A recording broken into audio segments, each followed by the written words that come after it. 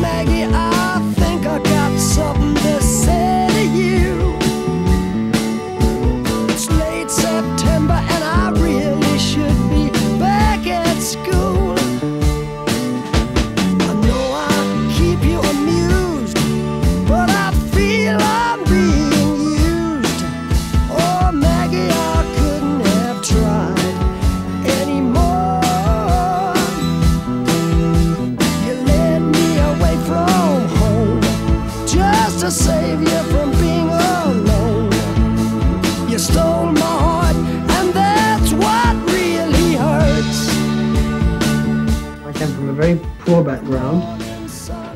extremely well fed and extremely happy.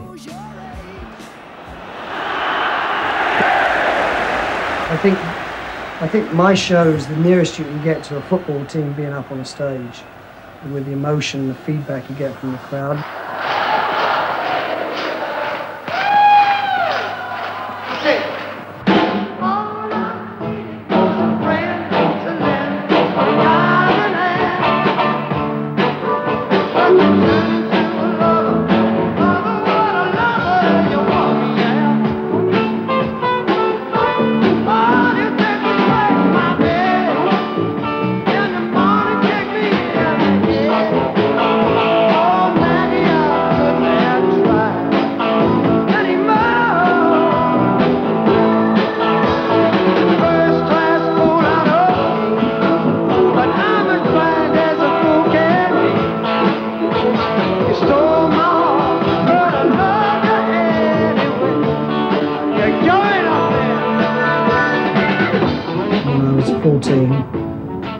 Used to, I had a model railway in my house with my parents and my I asked my dad when I was 14 to buy me a station for this model railway and instead he bought me a guitar for no apparent reason. And so that was my first encounter with music. I've been away from you a long time. I never thought I'd miss you so. Somehow I feel your love is real. Near you, I I've always been a kid, I still am a kid. My mother and father and my family used to play Al Jolson records in the 50s, and that's when I was growing up. And so I was really influenced by Al Jolson. Swanee, you're calling me. Swanee, how I love you, how I love you, my dear. I don't think I was made up to be a soccer player. I don't think I was committed enough to it. Um, and the musical side came along accidentally. There wasn't a decision to go either way at the time. I was too young. I was 15 or 16. I didn't know what I wanted to do. First band I was in was when I was at school, and it was called the Cool Cats, which was spelled with two Ks, Cool Cats. And we used to play a lot of skiffle music, uh, things by Lonnie Donegan and, uh, and that sort of stuff. Do you remember that? We used to have a, a, a tea chest as a bass with a stick. And used to sing things like this. Takes a worried man to sing a worried song. Oh Lord, it takes a worried man to sing a worried song. We used to sing things like that. First record was, uh, oh, what was my first record? First solo record was Good Morning Little Schoolgirl, which was, uh, I believe, an old Howling Wolf or Muddy Waters song. Wasn't it Sonny Boy Williamson? That's what I said. I said Sonny Boy Williamson. Um, but it wasn't a hit because the Yardbirds covered it at the same time. Come on, little schoolgirl. Come on, little schoolgirl. I cannot come home with. I cannot come home with you. Tell your mama and your papa. Jimmy Powell, I was asked to join Long John Baldry's blues band that was known as the Hoochie Coochie Ladies. Uh, and then from there, I went on to the Steam Packet. From the Steam Packet, Shotgun Express. And from there, I went on to the Jeff Beck Group. Listen, you can rock me, rock me all night long. Keep on rocking me, baby, rock me all night long. It started probably when I was with the Jeff Beck Group and realizing that people and critics like my voice and my style, and then it just goes on from there and there. No one actually sits down and says, You've got a great voice. you know, become a singer. It's just, it's all chance, luck, and accident. Way down in the country. Keep on rolling me, baby. Roll me on. Jeff decided uh, on a whim and a moment of rash decision that he should fire Ronnie Wood and Micky Waller. And Woody, Ronnie Wood and I are, are very close, and we still are extremely close. And I said, if Woody goes, I go. So then Woody joined the Small Faces that became the Faces, and they didn't have a singer. And Ronnie Wood said, why don't you come and sing with this lot, because we haven't got a singer. And so I said, okay, I'll, I'll join the Faces.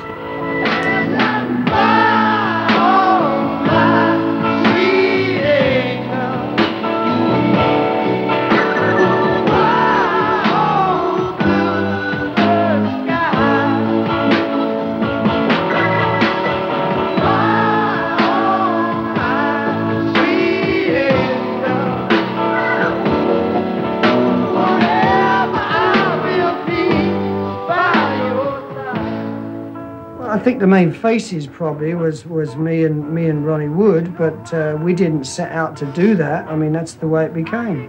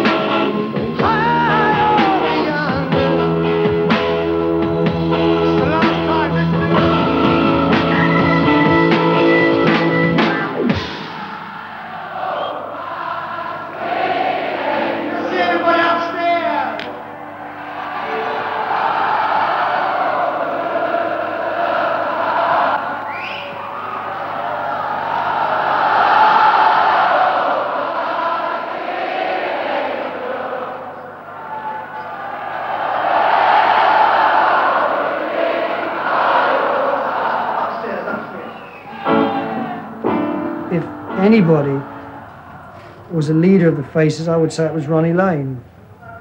And when Ronnie Lane left the band, which I think was 74, that's when the band started to disintegrate because he was the Faces. He was the spirit, he was the drinker, he was the joke teller, and he was the humor of the group.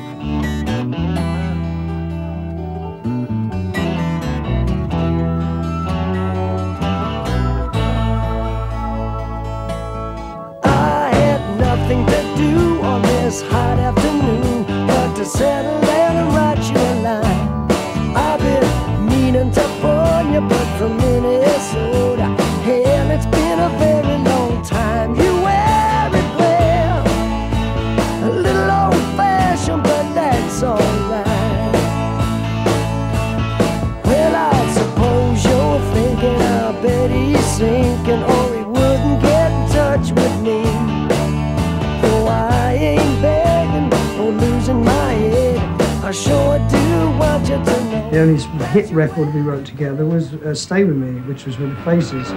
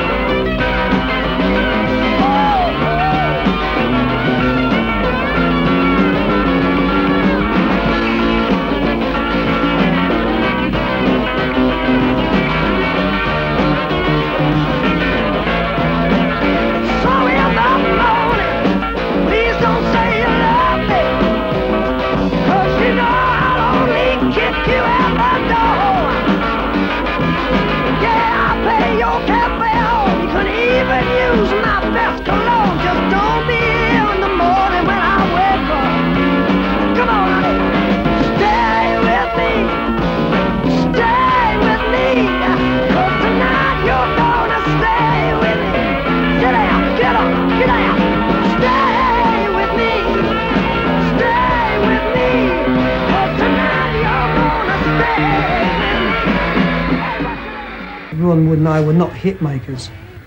And Maggie May was not written with Ron Wood, and nor was Wear It Well, and nor has anything else been since.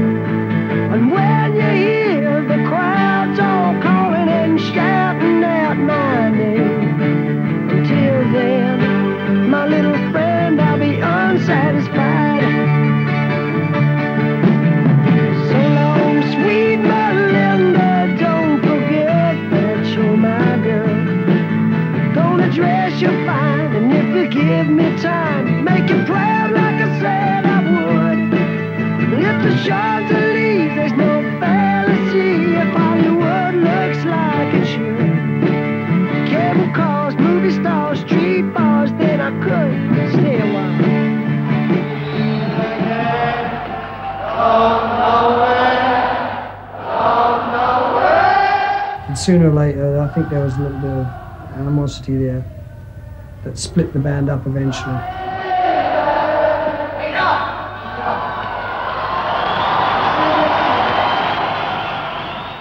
The solo career was there before the mm-hmm. Faces. You know, I was contracted, and I wanted to make my own records. There were certain things that the Faces couldn't play and didn't want to play, and there were certain things that I wanted to sing.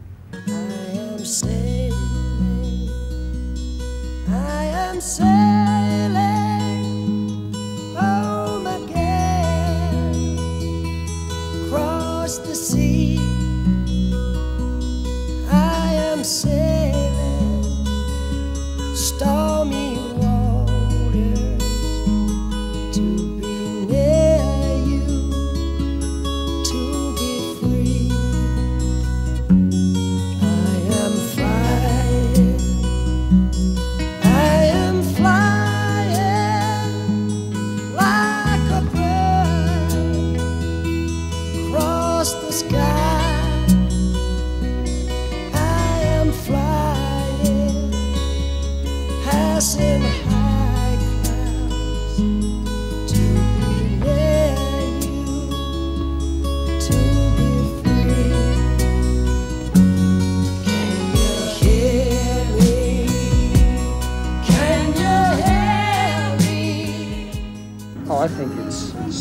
National anthem throughout Europe every, every time we play it. Especially in Great Britain with the Falkland Islands, and uh, because it was adopted as the tune for the forces that went down to the Falkland Islands.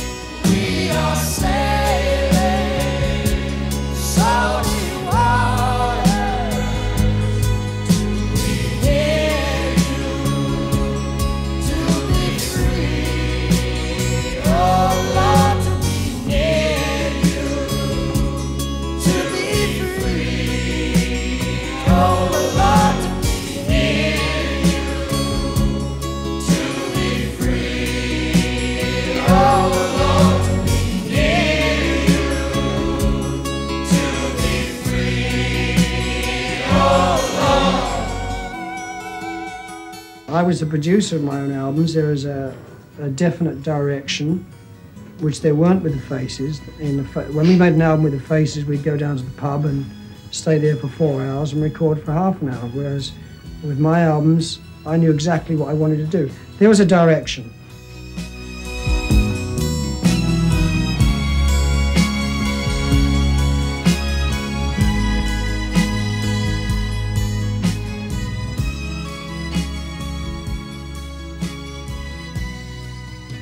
First two or three albums didn't sell. And everything else has sold extremely well. I aim to please the public, not the critics. And I also want to please myself. You can never please rock critics. I'd shoot them all if I had my way. So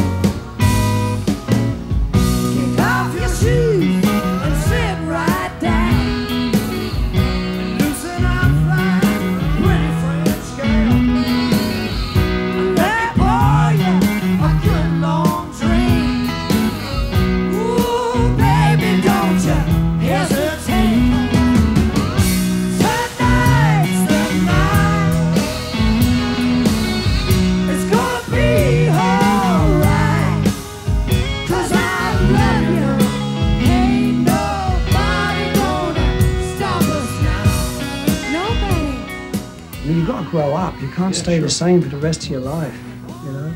But I'm getting older as you're getting older. I'm just improving my persona. How's that? Your mind is out. Cause you'd be a fool to stop this time.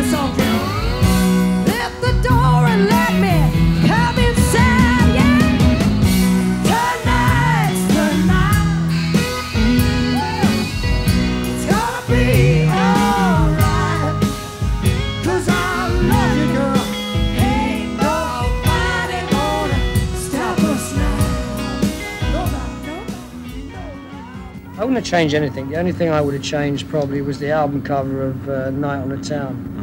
You know, where I was wearing the straw boat. And I don't think that was me. That was a bad period of my life. I went through there. I don't think that was actually me. And I was believing all the press that I was reading. Georgie!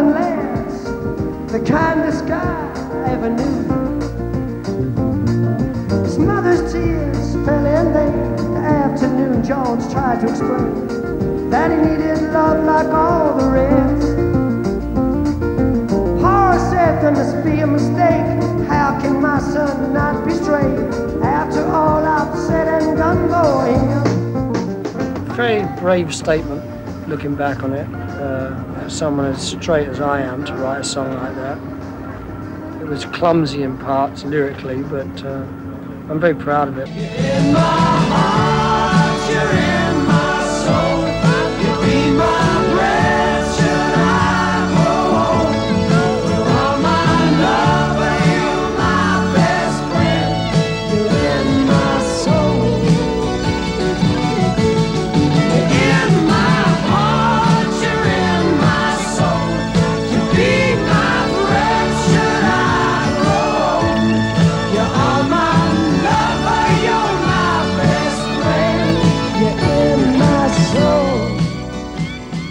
can't get married and have two children and it not affect your life. Of course, it affects you. It's. Uh, I'm not too sure how it's affecting me just yet.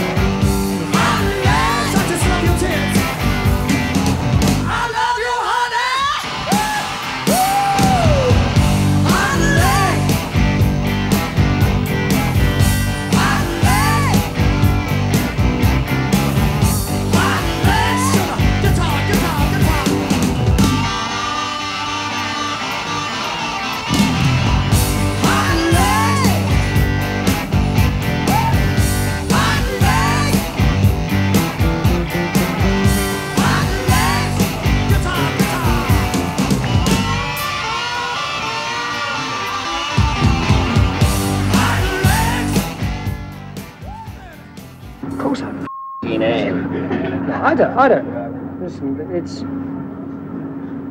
sex is really all in the mind. Sex appeal is all in the mind.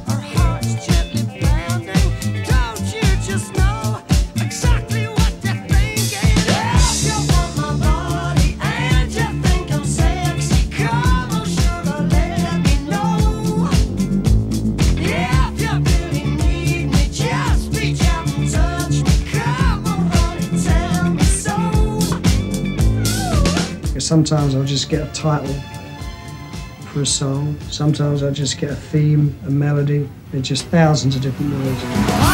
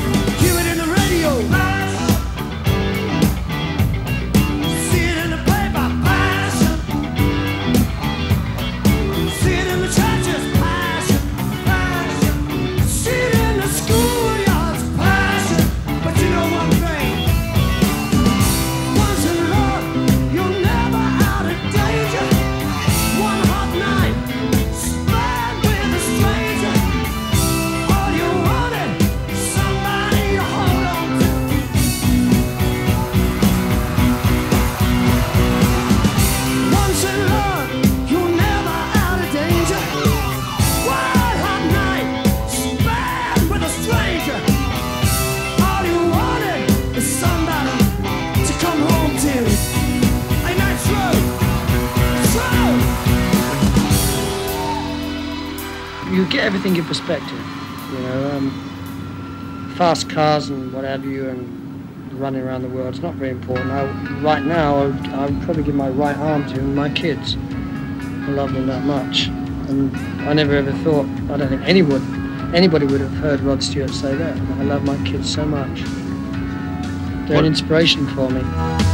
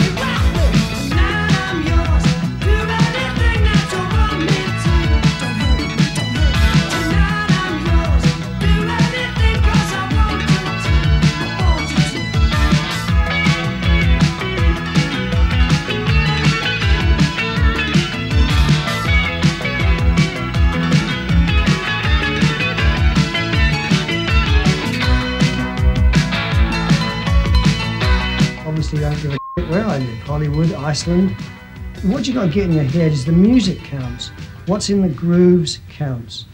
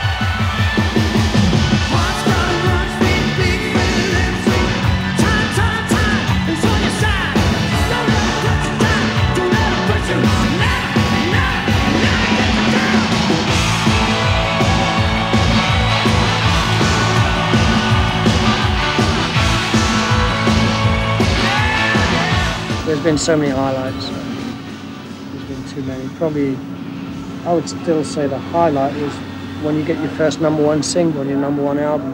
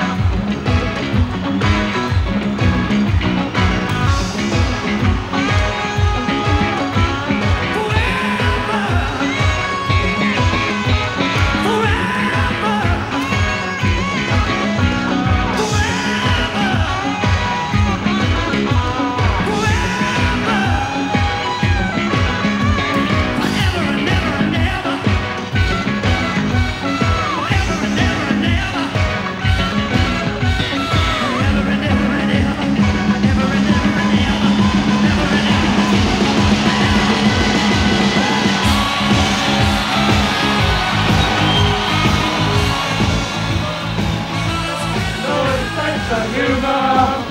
No sense of humor. Thank God. No sense of humor. No sense of humor. We got no sense of humor. No sense of humor. No sense of humor. Right, so you see,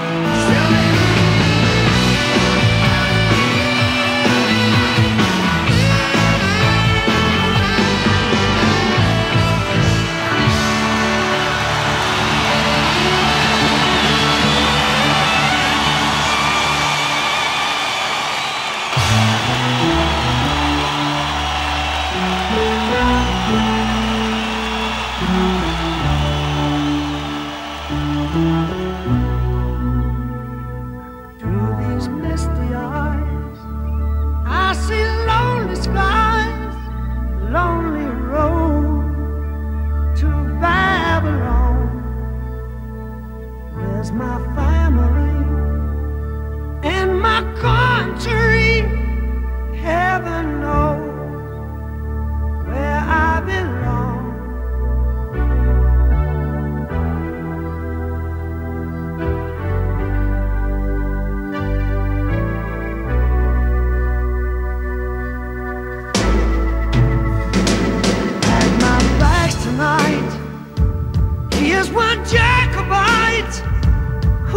Must leave or surely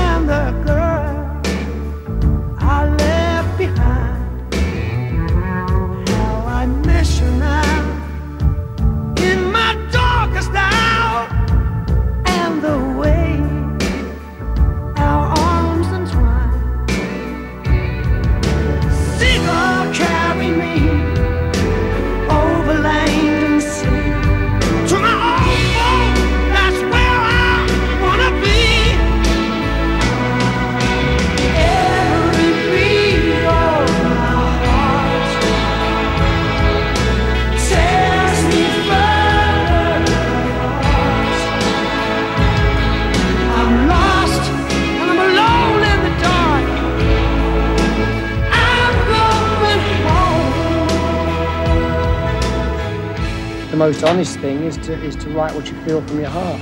To forget fashion, forget what's popular. If you can just write from your heart, that means a lot.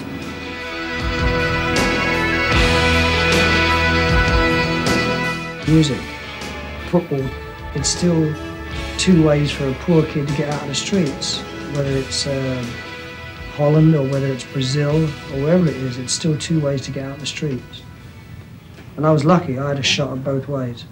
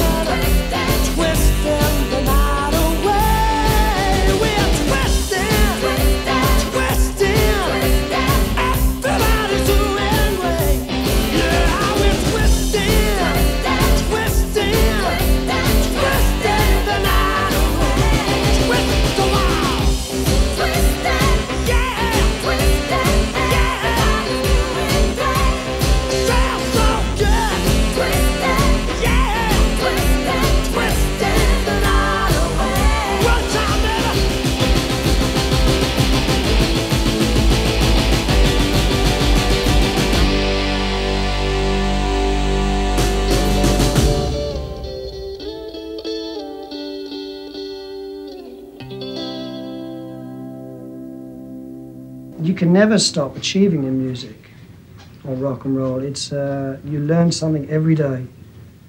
When I I feel right now, at my age, I could keep going on making records for the rest of my life.